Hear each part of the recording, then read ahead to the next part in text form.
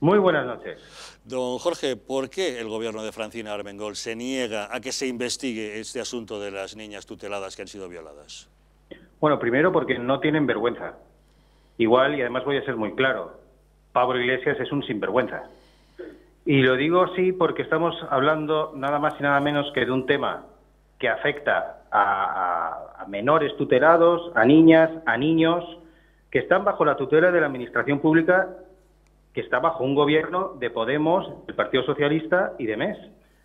Entonces, eh, lo que es algo increíble es que estos señores, eh, primero, que no quieran que comparezcan los responsables políticos, después que se nieguen a auditar el IMAS, después que, que impidan las comisiones de investigación y que, por una parte, Pablo Iglesias diga que eh, esto se tiene que investigar, caiga quien caiga, cuando su propio partido está bloqueando la investigación en Baleares, con lo cual es un sinvergüenza, y hay que decirlo así de claro.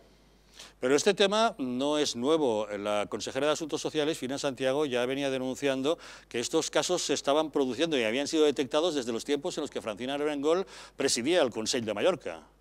Así es, bueno, y, no solo eso, o sea, estamos hablando del año 2010. Efectivamente, Francina Armengol era presidenta del Consejo de Mallorca pero es que ya hay eh, testimonios de trabajadores sociales y de incluso de menores tutelados que ya son adultos que dicen que esto ya lo sabían cuando ellos estaban en los centros y nos estamos remontando a los años 90.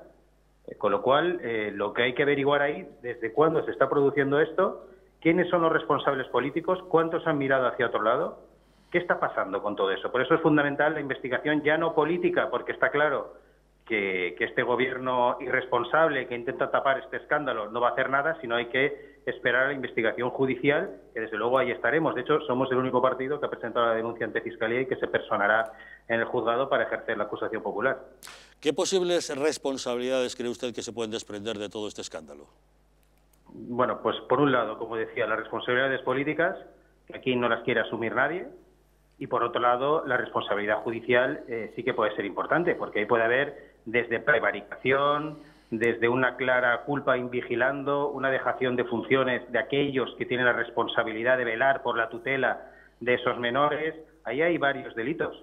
Incluso que no sabemos qué conexiones hay entre ciertos trabajadores, ciertos educadores, algunos responsables, con esas redes de prostitución, qué pasa con esas entidades llamadas del tercer sector que son los que arrancan a los niños de familias, que a veces se los arranca por cuestiones económicas y a cambio de eso se llevan entre 3.000 y 6.000 euros y después resulta que en sus centros de acogida se prostituyen o son abusados y después comparecen estas entidades del tercer sector en un pleno del Consejo de Mallorca para aplaudir de manera vergonzosa la gestión de este mismo gobierno. O sea que ¿Cuántos implicados pueden haber aquí? Bueno, pues por ahora no lo sabemos porque intentan taparlo, pero desde luego la investigación judicial esperemos que sea exhaustiva. Pero este tema es especialmente escandaloso porque un menor que está siendo tutelado lo es para ponerle a salvo de los peligros que pudiera tener en otras circunstancias. Si no podemos garantizar la integridad y seguridad de este menor tutelado, eh, ¿en qué se puede confiar?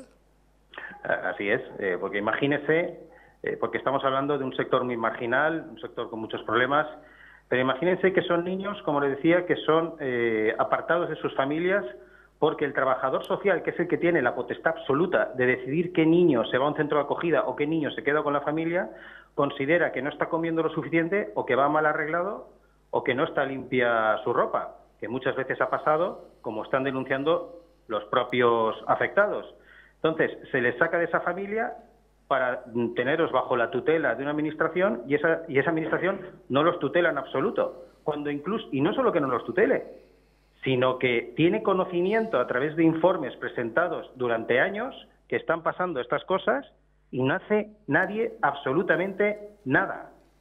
este es el gran escándalo. Eh, sí que lo es y como usted dice, ¿cómo es posible que no haya pasado nada hasta ahora si, como nos acaba de comentar, había ya trabajadores eh, sociales que habían detectado situaciones extrañas, incluso menores que habían denunciado eh, casos determinados? ¿Cómo es posible que nadie, absolutamente nadie, haya tomado medidas en todo este tiempo? Pues es posible porque yo creo que unos se tapan a otros, porque aquí estamos hablando de una cuestión que afecta ya hace muchos años. Eh, habrá que ver la Fiscalía si ahora, que las ha abierto las diligencias, llega hasta el final y, nosotros después, desde luego, eh, hacer todo lo posible para que esta investigación de verdad llegue hasta el final y, caiga quien caiga. No, pero caiga quien caiga de verdad, no como dice el marido de la ministra.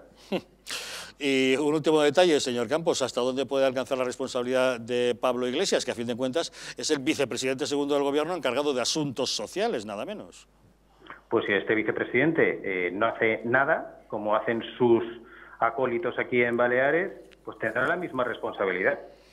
Desde el punto de vista político estará clara. Desde el punto de vista judicial veremos eh, si al ser conocedores de una situación delictiva y pueden presentar una denuncia y no lo hacen, si ahí tendrán responsabilidad judicial. Pero eso ya dependerá de la investigación judicial del juez y de la instrucción.